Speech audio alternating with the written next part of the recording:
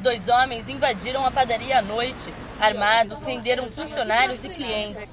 Roubaram relógios, celulares e 100 reais do caixa. Eles estavam de saída quando um deles resolveu levar um passarinho de estimação do proprietário. O homem correu atrás da dupla, tentou impedir e foi atingido por dois tiros. Aqui é zero de policiamento.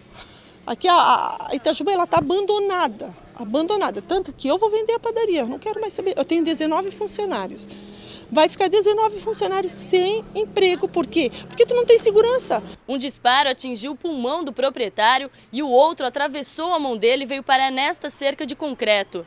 Ele foi socorrido por um amigo e levado para um hospital em Itajaí. A vítima já está fora de perigo. Os bandidos fugiram em uma moto preta sem placas. Criminosos com as mesmas características assaltaram uma lanchonete na segunda-feira e um supermercado no final de semana.